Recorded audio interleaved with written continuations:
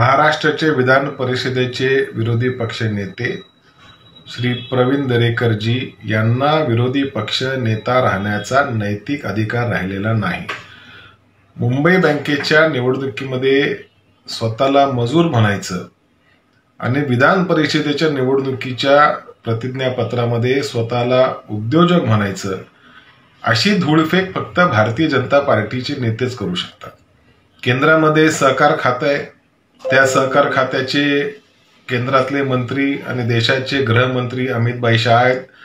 त्यांचाच पक्षाचा एक जबाबदार नेता जो विरोधी पक्ष नेता देखील आहे तो अशा पद्धतीने जेव्हा लोकांची धूळ डोळ्यामध्ये धूळ फेकतो तेव्हा भारतीय जनता पार्टीची नैतिकता कुठे असा प्रश्न आमच्या सर्वांच्या मनामध्ये येतो.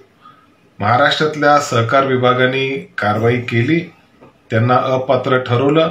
त्याच्यामुळे ह्या सगळ्या गोष्टी सगळ्यांच्या नजरेसमोर आल्या परंतु आता प्रवीण दरेकर हे स्वतः नैतिकतेचा कुठला आधार घेतात काय मूल्य वापरतात हे बघण्याची आवश्यकता आहे. आमचं स्पष्ट मत आहे की लोकांची फसवणूक करणारे लोकांना खोटं सांगणारे स्वतःला एकीकडे मजूर म्हणवणारे दुसरीकडे उद्योगपती म्हणवणारे प्रवीण दरेकर यांना सार्वजनिक जीवनामध्ये राहण्याचा अधिकार नाही. त्यांनी ताबडतोब विरोधी पक्ष नेतेपदाचा राजीनामा दिला पाहिजे.